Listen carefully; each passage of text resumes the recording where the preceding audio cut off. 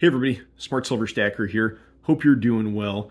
This whole de-dollarization thing has become a bit of a trope now in 2023. It seems like it's a hot topic of conversation that you're seeing come up all over the place, even in the mainstream media, even though as of now, as of this time, the dollar still reigns supreme around the world. Still makes up the majority of international foreign exchange reserves, it's still the number one currency in international trade settlement, but even Janet Yellen has now warned that the weaponization of the dollar through financial sanctions could potentially undermine US dollar hegemony around the world. In that interview, she did provide the caveat that the dollar remains appealing as a reserve and a means of facilitating trade due to the depth of US capital markets and also the rule of law. But the weaponization of the dollar and the imposition of sanctions are exactly the opposite of the rule of law, at least from the viewpoint of some. The freezing of Russian US dollar denominated assets following their invasion of Ukraine last year, that sent a strong message to nations around the world. If you are in US crosshairs in the geopolitical sense, then your assets may be forfeit. And that is exactly why we are witnessing an acceleration in the calls for and steps towards de dollarization. Brazilian President Luiz Inácio Lula da Silva being the latest voice to call for a reduced role for the US dollar in the global economy. At a recent speech delivered at the BRICS Development Bank in Shanghai, Lula had this to say. Every night I ask myself why all the countries have to base their trade on the dollar. Why can't we do trade based on our own currencies? Who was it that decided that the dollar was the currency after the disappearance of the gold standard. And this is not just bluster from the Brazilian leader. Recently, Brazil and China signed an agreement to eliminate the dollar from their bilateral trade, which is not insignificant. Brazil possesses the biggest economy in South America, and China is their largest trading partner. We are talking about more than $150 billion worth of trade annually that will now be conducted in either the Brazilian real or the Chinese renminbi. The BRICS nations, that's Brazil, Russia, India, China, and South Africa, are already shifting towards the use of existing local currencies to settle bilateral international trade. And that seems to be the plan for at least phase one of this de dollarization agenda. This was confirmed recently by Deputy Chairman of the Russia State Duma, Alexander Babakov, while speaking at the St. Petersburg International Economic Forum hosted in New Delhi. He had this to say our goal should be focused on writing new rules in the financial sphere in order to enable the use of an already common currency. Doesn't matter whether it's a digital ruble, a digital rupee, a digital yuan, or some other currency, but this currency must follow the laws of our respective nations. So that's phase one. But phase two of this de dollarization plan may involve an entirely new currency a BRICS currency, something we have heard rumors about for years now. However, the speculation may become a reality in the very near future, and in today's video, we're going to examine some of the possible ways a new BRICS currency could manifest itself, and how that might affect the global economy and also precious metals. Because there is some strong evidence that gold and silver could be involved. So let's get to it.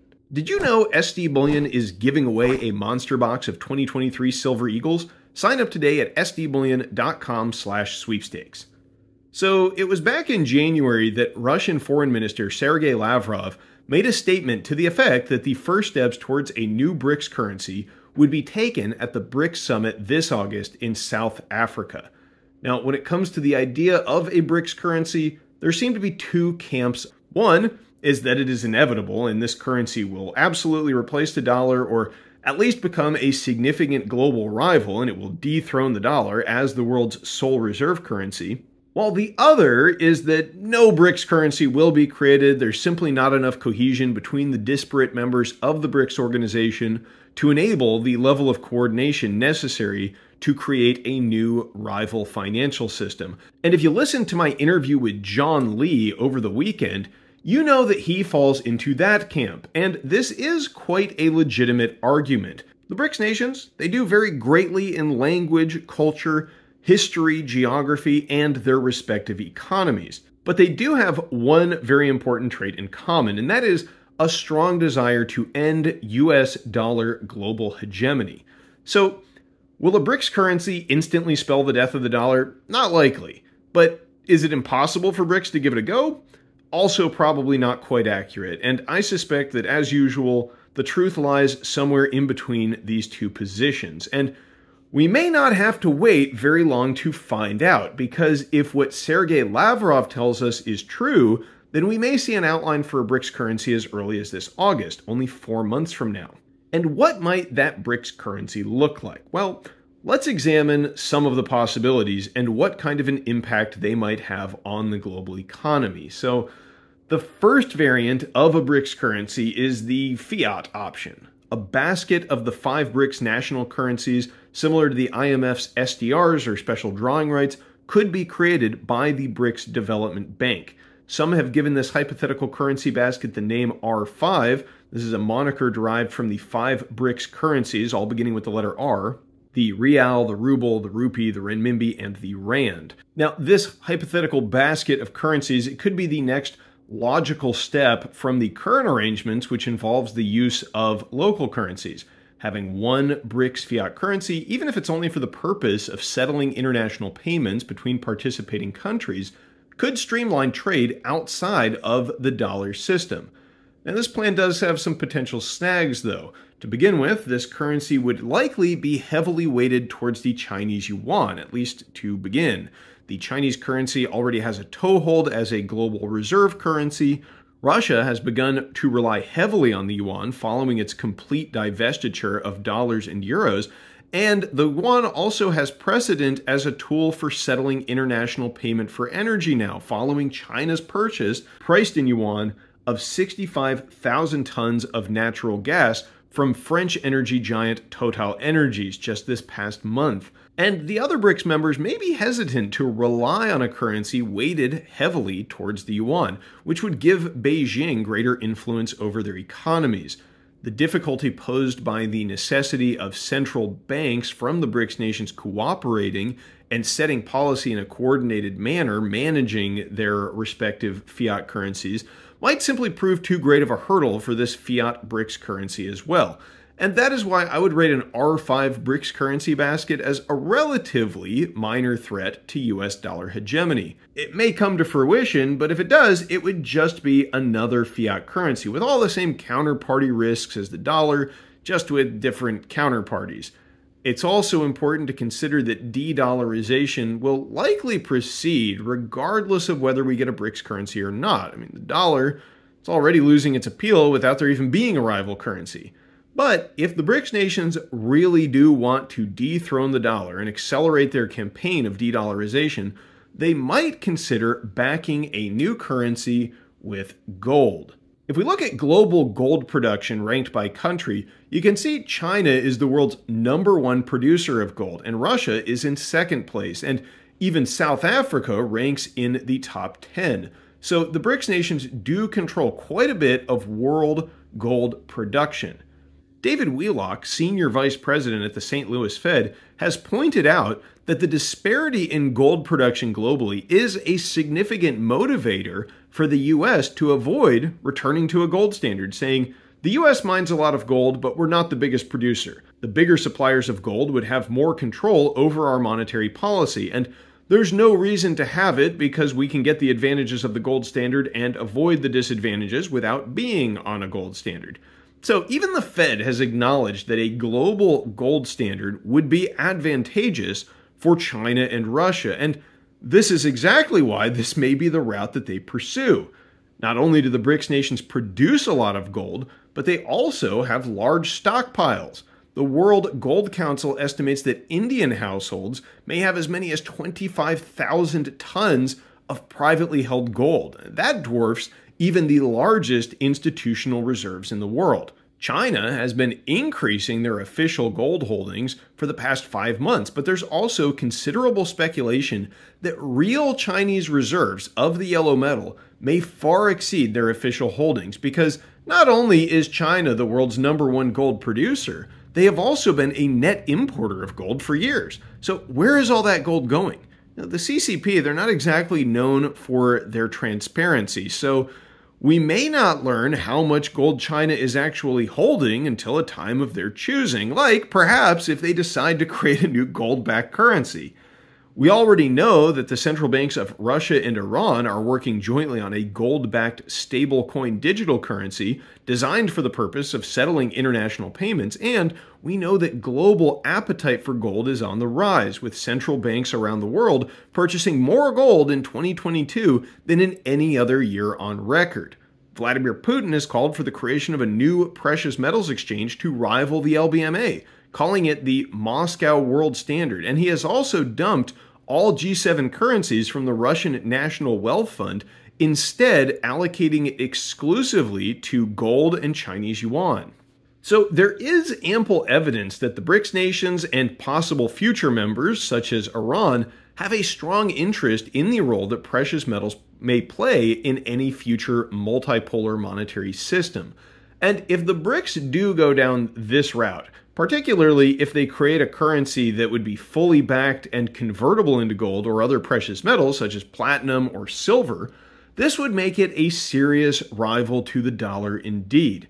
This infographic from Visual Capitalist demonstrates quite nicely how much value the US dollar has lost over the past century, and this is a trend that is only going to accelerate given the astronomical levels of debt and deficits here in the US combined with the Fed's propensity to run the printing presses and monetize that debt at any sign of economic distress domestically. And in light of that, when posed with the question of which currency to hold in reserve, a fiat paper US dollar constantly being devalued by the forces of inflation versus a hard gold backed note from the BRICS, many countries around the world might give a strong consideration into diversifying into the latter. And that means less organic demand for the dollar around the world and even further loss of purchasing power. But maybe it won't just be gold or precious metals exclusively. The BRICS nations, they produce a variety of commodities that could be used to back any new currency. And if Saudi Arabia and Iran join the BRICS nations in August, and they have indicated that this is the plan, then BRICS will possess a tremendous amount of the production of the world's most important commodity, crude oil. It's very convenient that China just brokered a peace deal between the two rivals just months ahead of the BRICS summit, isn't it? Saudi Chinese cooperation in the realm of energy production is already quite deep, with the Saudis recently announcing billions of dollars of investment in two major petroleum refineries located within China. And China launched yuan denominated oil futures at the Shanghai International Energy Exchange and there seems to be very little stopping them from transitioning these to oil futures priced in a potential new BRICS currency. Perhaps a currency that all BRICS or BRICS Plus members also use to conduct their energy transactions. And that would, of course, mean an end to the petrodollar system, the system in which Saudi Arabia prices its oil exclusively in US dollars. If you need a BRICS currency to buy oil or gas from Iran or Russia or Saudi Arabia, a lot of countries around the world are going to want that currency. In fact, they're going to need it. And as we recently witnessed with China's yuan denominated purchase of 65,000 tons of natural gas from French Total Energies, even US allies are willing to transact in non dollar currencies. So if the BRICS decides to go this route and peg their new currency to the sale of oil and gas, that too could provide some real competition to the US dollar. And there's plenty of other commodities that could be used as well. Russia and South Africa, for example, they produce a large majority of the world's platinum group metals. China controls several rare earth elements, and the list goes on. So clearly, there are multiple ways that the BRICS nations could structure a currency that would provide a genuine rival to the US dollar. The real question remains will they be able to cooperate sufficiently to do so? Will their distrust of the dollar be enough to overcome their differences? It probably depends, at least to some degree, on the US approach. If we relax the heavy handed sanctions, if we stop weaponizing the dollar, and we get our own domestic economy in order, the BRICS members may not feel sufficiently motivated to continue their de dollarization mission.